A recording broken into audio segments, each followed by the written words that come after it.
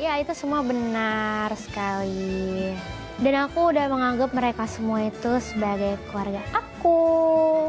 Udah sayang sekali sama kalian.